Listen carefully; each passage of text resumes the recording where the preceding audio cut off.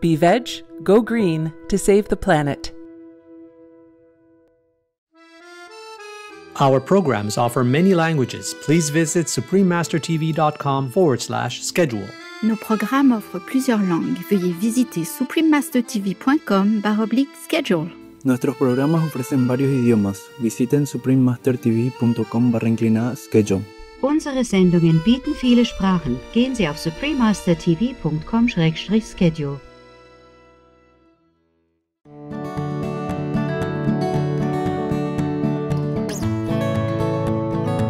If you're craving warm and hearty comfort food that is not only delicious but can also boost your immune system, then this recipe is what you're looking for. Nourishing traditional Mongolian airtight cooking, part 1 of 2 vegan covered vegetable soup. Watch on to find out more.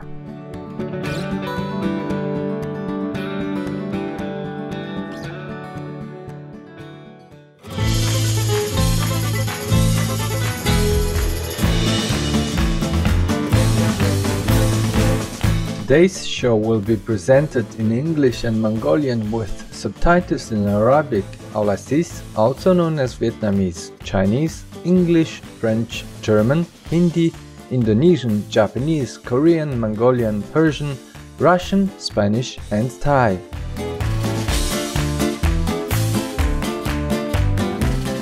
Soroye, I just said hello in Orok, an indigenous language spoken in Sakhalin Island, which is located at the far east end of Russia. I am Oleg. The Sakhalin people thank you for your dedication to a peaceful vegan world. May you always be showered in heaven's grace.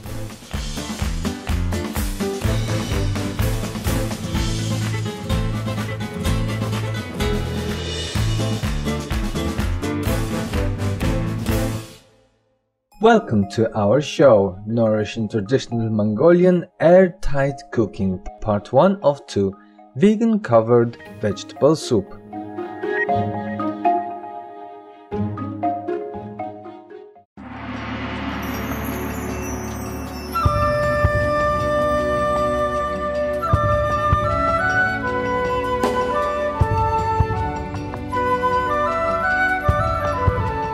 Mongolia is famously known as the land of blue skies, having over 260 sunny days in a year. It is a land of extreme weather conditions where winter is extremely cold and long, lasting from early November to March. Its summer has pleasant temperatures in most regions, while spring and autumn are mostly cool but somewhat unpredictable.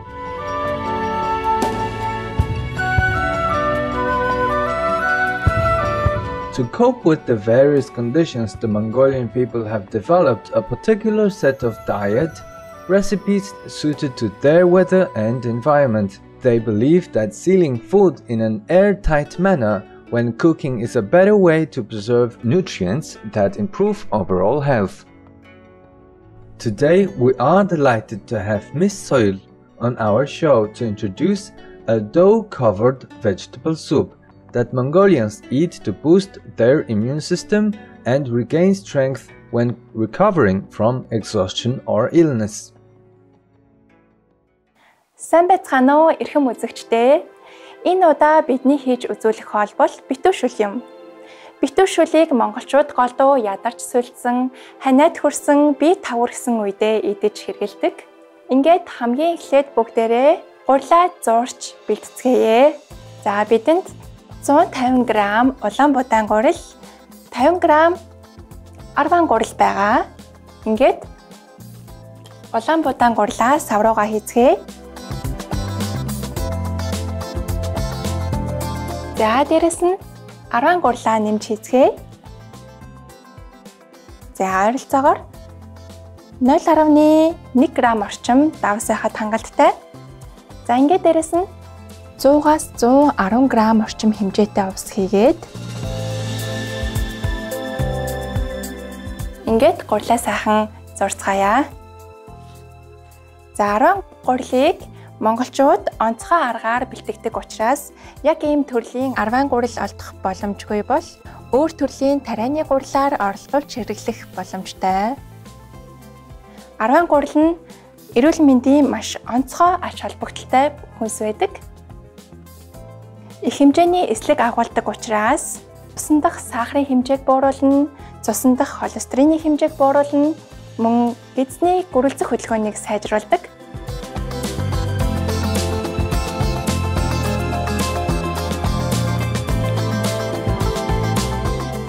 За ингээд зурсан гурлаа дээгүүр нь давуугаар юм уу эсвэл тагаар тагалж битүүлээд ингээд 20 минутын турш амраана.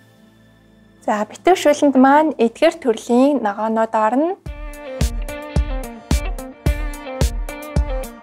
Ингээд бүгдээрээ ногоонуудаа хэрчиж бэлтцгээе. Хамгийн эхлээд дүв бүгээ хэрчээ. За дүв бүгээ дөрвөн хэсэгт хуваагаад том хэмжээтэй хэрчинэ.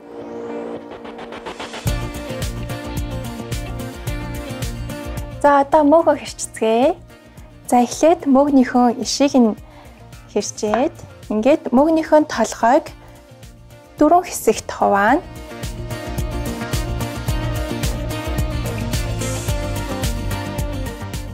За мөөг нь мөн адил уурхийн өндөр агууламжтай. За мөн биеийн дархлааг сайжруулахад ач тустай ийм ногоо байдаг. Монгол оронд 400 орчим зүйлийн мөг зэрлэг байдлаар ургадаг. Одоо төмсөө хэрчээ. За төмсийг мөн адил том хэмжээтэйгээр хэрчинэ. За одоо луунгаа хэрчцгээе. За луун бол А амин дэмээр баялаг. Тийм учраас нүдний хараанд сайн нөлөө үзүүлдэг гэдгийг хүн болгон мэдж байгаа. За яншуугаа бид нэр жижиг хэмжээтэйгээр хэрчинэ. За яншуу нь хоолнд маш сайхан амт үнрийг оруулж өгдөг. За мөн бөөрийн үйл ажиллагааг сайжруулах юм үйлчлэгээтэй. За ингээд бид ногоонуудаа хэрчиж дуслаа. Одоо бүгдээрээ дүв бүгээ шарж бэлтцгээе. За эхлээд хайрлын тавгандаа баг зэрэг ургамлын тос хийж өгье.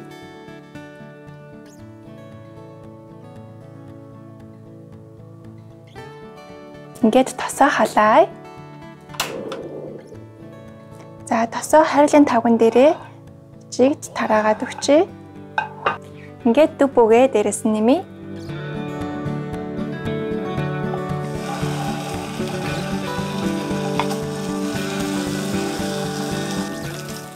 Дүв бүү маань маш их хэмжээний уургийг агуулдаг. 100 г дүв бүүнд 8 г орчим хэмжээтэй уураг агуулдаг. За дүүбүү шарахтаа түлэгдэж наалтахаас болгоомжлох хэрэгтэй. За хэрвээ түлэгдэх хандлагатай байвал гадаа баг зэрэг багасгаад алхуурхан шарж өгнө.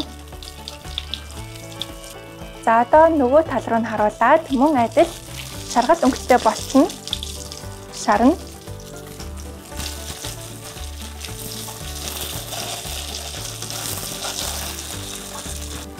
За ингээд дүүпүг бид шараад шүлэндөө хэрэгж болно.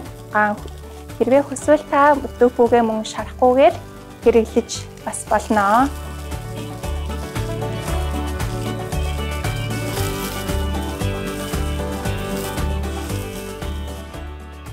За ингээд бид дүүпүүгээ шарж дууслаа. Одоо бид шөлөө бэлтцгэнэ. Ингээд хайруулын тавгандаа бид эхлээд гүнжтийн үрийн тос хий. За гүнжтийн үрийн тос нь хүний биеийг дулаацуулах үйлчлэгээтэйгээс гадна бие торомтлогдсон хийг гадагшлуулахад тусалдаг. За мөн шүлэнд маань маш сайхан амтыг нэмж өгөх болно. За одоо дээрэс нь цагаангаа хий. За цагаангаа мөн адил бие торомтлогдсон хийг гадагшлуулах үйлчлэгээтэй халуун чанарын ийм ногоо юм. За лаврын навч Лаврын навчийг хоолнд хийснээр бас сайхан амттай болж өгдөг. За дээрэс нь хар перцгий. Хар перцийг бүх төрлийн хоолнд нэмж өгснөөрөө хоолны амт чанарыг илүү тодтгож өгдөг. За ингээд галаа баг зэрэг хэмжээтэй асаагаад Ингээд баг зэрэг хуурч өгнө. За ингэснээр амтлагчнуудын маань амт нь илүү сайн гарч өгөх болно. За одоо дээрэс нь бүгдээрээ мөөгөө хийцгээе. Ингээд баг зэрэг хуурч өгнө. За одоо дээрэс нь төмөс давангаа хийцгээе. Ингээд мөн адил баг зэрэг хуурж өгье. За бидний хийж байгаа хоол бол уургаар баялаг мөн олон төрлийн амин дэмээр баялаг. За ийм шүл болно. Тэгэхээр веган хоол иддэг хүмүүс бол уургаар амин дэмээр эрцээр дутагдана гэж санаа зовх зүйл юусоо байхгүй. За ингээд ногоонуудаа бид баг зэрэг хуурчлаа. За ингээд 1 литр орчим хэмжээтэй ус хийлээ. За энд бидний бэлдсэн нэгэн онцгой амтлагч байгаа. Халгай гэдэг нэртэй Монгол оронд зэрлэг байдлаар ургадаг ийм ургамал байдаг. За энэ халгааг мөн адил биеийг дулаацуулах үйлчилгээтэй, за мөн бие төрөмлөгдсөн хийг гадагшлуулах юм үйлчилгээтэй байдаг. За эмчилгээний журмаар бас ашиглаж болно. Хэд их сэрүүцсэн юм уу хийцэн үедээ энэ ургамлыг цайнд хандалж уух болон хоолндоо хийж хэрглэж болдог. За мөн шүлэнд маань бас нэгэн онцгой хамтыг нэмж өгнө. За ингээд мэдээж баг цэрэг давс хийж өгье. За энд мөн адил Монгол оронд зэрлэгээр ургадаг ийм гонд гэдэг амлагч байгаа. За ингээд хамгийн сүүлд шүлэндөө бас нэгэн сайхан амтыг нэмэх үүднээс мөөгний нунтгийг хийж өгье. За энэ бол бор мөөгний нунтаг байгаа. За ингээд амтлагчуудаа шүлэндөө уусгаад утгаж өгье. Ингээд галаа ихсгээд за ингээд тагаа таглаад 10 минутын турш буцлагъя. Ногоо маань хагас болтол буцалгаж өгнө.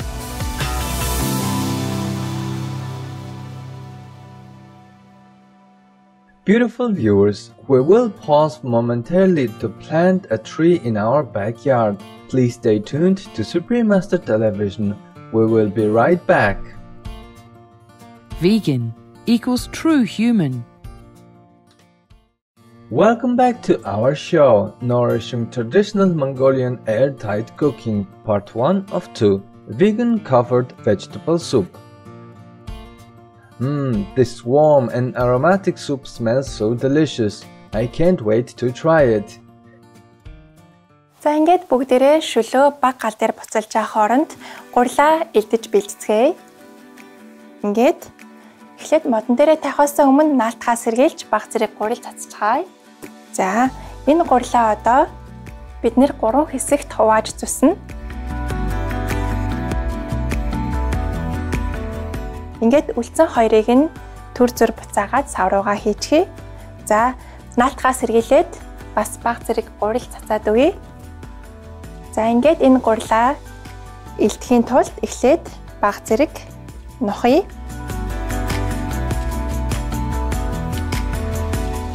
За ингээд нухаад ингээд дугуй хэлбэрт оруулсан. Одоо ингээд илтгэе.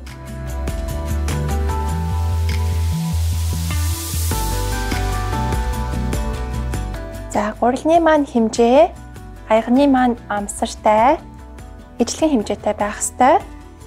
Тэгэхээр гурлаа дахиад жоохон илтэж өгье.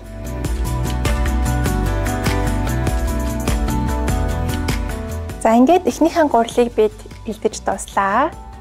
За одоо энэ дээрээсээ баг зэрэг ургамлын тос төрхөж өгнө. За жигтгэн хэмжээтэй төрхөд өгье.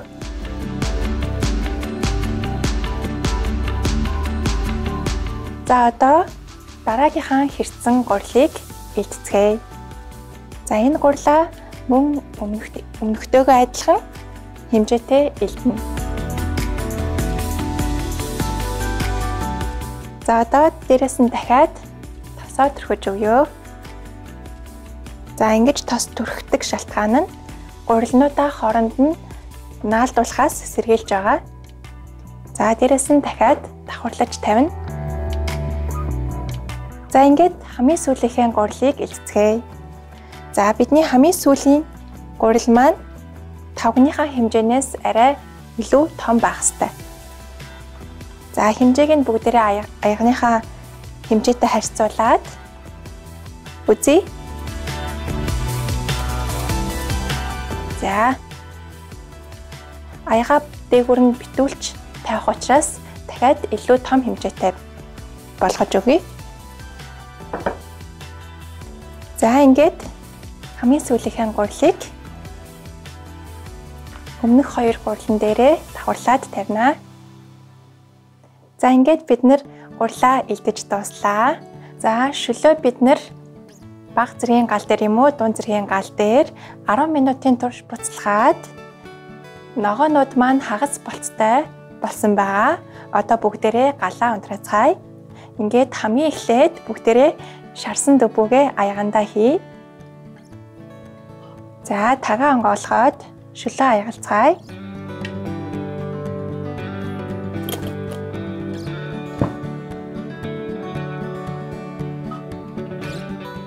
За шүл маань маш сайхан үнэртэж байна.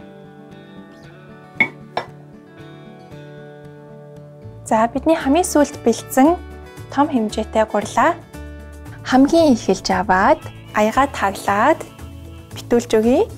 За гурлаа сайтар татаж өгөөд ингээд аягныхаа амсар дээгүүр давуулаад ингээд сайтар дарж өгнө. За завсраар нь агаар орох зай үлдээхгүйгээр аягтайгаа сайтар нийлүүлээд ингээд дарж өгнө. За одоо дээрэс нь дараагийнхаа гурлыг давхарлаад тавьчих.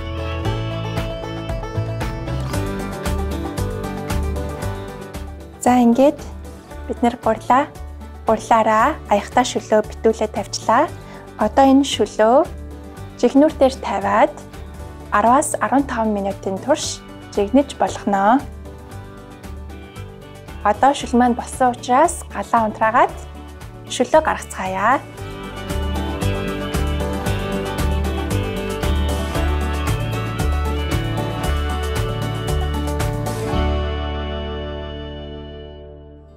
Ингээд бүгдээрээ шөлөө идцгээе. За бид хамгийн дээр нь хоёр давхар гурил тавьсан байгаа.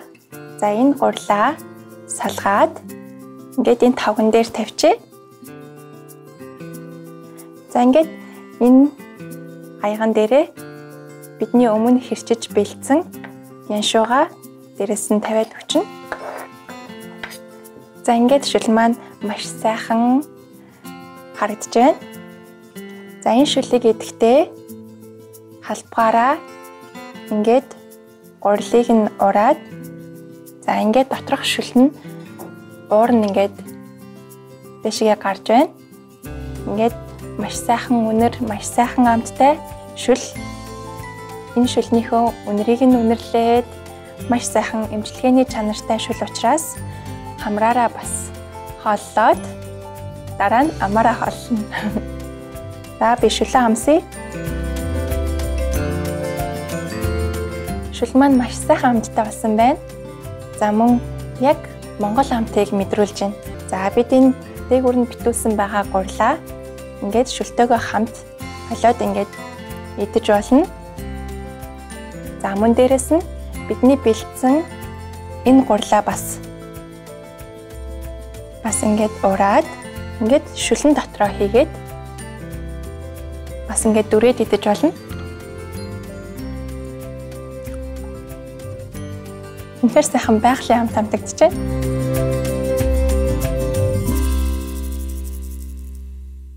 Ingredients For all ingredients, please use organic versions if available. For the vegan covered vegetable soup, the ingredients are 150 grams of shiitake mushrooms or other mushrooms, 100 grams of tofu, 70 grams of potatoes, 70 grams of carrots, 10 to 15 grams of cilantro, 3 slices of ginger, vegetable oil, 1 liter of water. Seasonings 1 tablespoon of sesame oil, 2 to 3 pieces of bay leaves, 2 pinches of cumin, 2 pinches of salt, 1 pinch of black pepper, 1 gram of mushroom powder, 2 grams of dried nettle leaves. For the dough, the ingredients are 150 grams of wheat flour, 50 grams of barley flour, 1 pinch of salt, 100 to 110 grams of water. Peaceful viewers, thank you for watching our show today. We hope this healthy, hearty, and wholesome soup will soon be part of your comfort food menu, one that you and your loved ones will enjoy for many meals to come. Please join us next Sunday for part 2 of the show. Miss Soil will share with us another delicious and nutritious traditional Mongolian airtight dough cuisine, dumplings. Up next is The Ten Commandments and Moses and the Ants, part 12 of 13, on Between Master and Disciples, right after Noteworthy News.